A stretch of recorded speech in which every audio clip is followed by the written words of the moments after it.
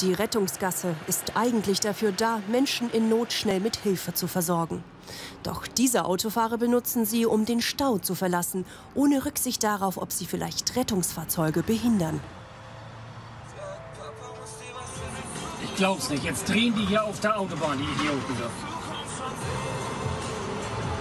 So was Bescheuertes, du.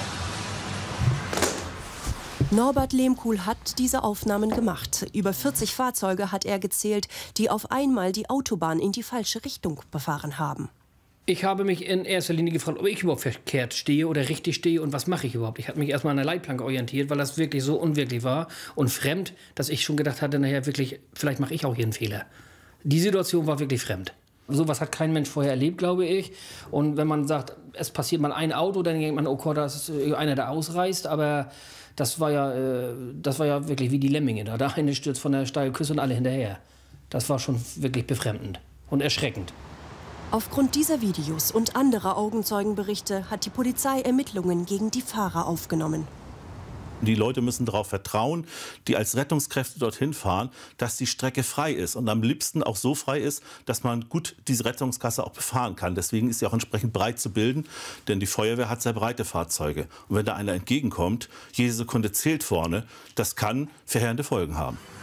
Ein Monat Fahrverbot, 200 Euro Strafe und zwei Punkte in Flensburg. Die Polizei sagt, Geisterfahren auf der Autobahn ist nicht nur eine Ordnungswidrigkeit, unter Umständen ist das sogar eine Straftat.